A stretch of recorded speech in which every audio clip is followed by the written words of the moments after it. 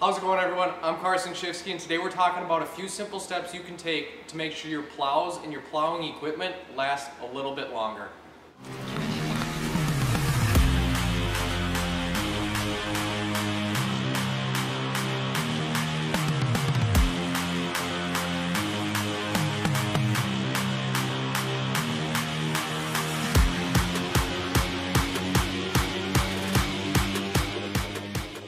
So I'm going to start off by saying if you haven't already, subscribe to the channel. Uh, we're making a bunch of lawn care, snow plowing, and mostly landscaping videos. Right now it is winter here in Minnesota, so most of our content will be snow plowing related. So if you want to see more videos like this one or like the other ones on our channel, hit that subscribe button. So first thing we're going to talk about is just greasing the plows. I've had a lot of people talk to me or ask me when I was greasing the plows like, oh, I didn't know you could grease those. Where all can you grease them from or something like that. And the simple truth is, I guess a lot of people just don't know that. But basically, we can grease the main column here. They've got little holes in there where you can stick the special tool that we have. Um, looks like it's made by Legacy, and it's called the Lube Link. Uh, basically, it's got a little pointy end on it, and then the other end just hooks up to your normal, it's got a normal grease zert on it to hook up to your grease gun like we have here. So as you can see, this is the tool here. Basically, it's got the end that goes into the plow. This has just got a pointy end on it. And then this end here is your standard grease zert. And then we take the end of the grease gun, basically plug it into the grease zert, obviously, and then slide this column piece over. Then we can go ahead and just stick that into the plows there, and the grease will come out into the main column.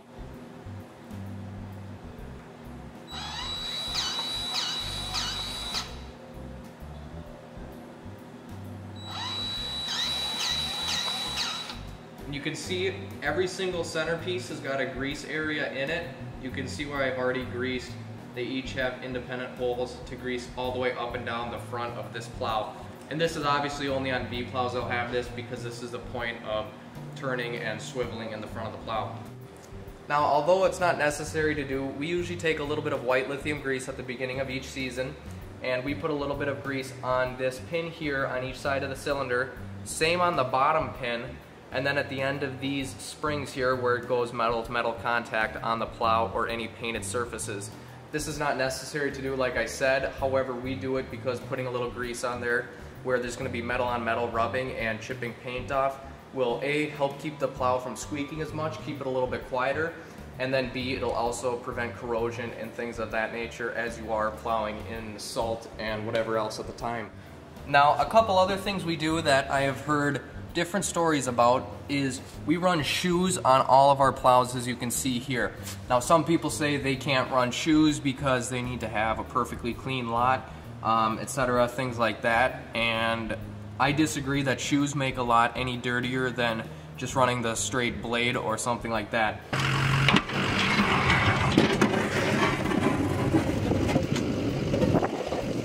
Basically what we do is at the beginning of each season we adjust the shoes we put the blade on the ground, um, having the shoes adjusted to where they have a lot of play in them, and we just kind of tighten it up from there, but we don't ever get it to where the blade sits off the ground. We get it to the point where the shoes have got a little bit of slack in them, and then the blade will actually wear down to the height of the shoes, and then they'll both be at the same height, allowing for a very clean finish, yet not putting maximum pressure and grinding force on the blade itself. Um, as you can see here, there is a little bit of play in this shoe. However, I can't actually move it up and down. I can just twist it side to side.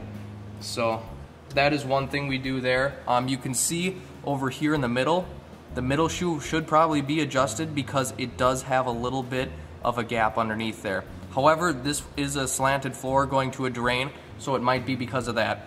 Usually we put the plows open um, to a straight blade formation on a flat surface out on the driveway or somewhere very flat. Um, tilt the trucks at an angle in here so they're not sitting in the middle of the drain. That could also account for as to why there's a gap there. So another thing we like to do is have the controllers mounted on the door here. This is by far the most comfortable position. You can have one hand on the controller, the other hand running the steering wheel and then the gear selector. Also, you don't have the controller just laying around loosely in the cab, getting kicked around when people get in and out of the truck.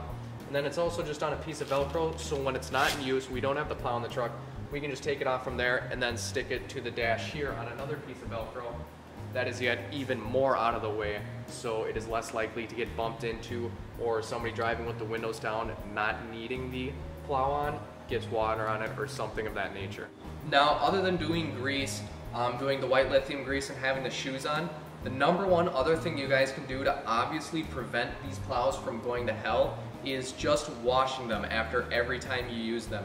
Every time we get done using the plows or the trucks or the trailer or the skid loader, anything that's been out in a snowstorm where there's salt and chemicals on the road, we wash them every single time without hesitation. I do not care if it's gonna snow the next day because the second those chemicals hit your truck with that water, they start to corrode the metal. And then the second they get pulled into the shop, into that warm area, if you have a heated shop, then that speeds up that corrosion process even faster. So washing the plows and then greasing this area here if you have a V-plow is by far the number one best way to help maintain these plows and make sure they're around for the long run. So if you guys like the video, like I said earlier, hit that subscribe button and that like button. And then let me know in the comments below what you guys do to help maintain your plows and help extend the life expectancy of your equipment and plows in particular. I'd really like to see what other guys are doing, um, some tips and tricks to get more life out of the cutting edges, things like that. I've heard of people doing all kinds of different things. So let me know in the comments below what you guys do.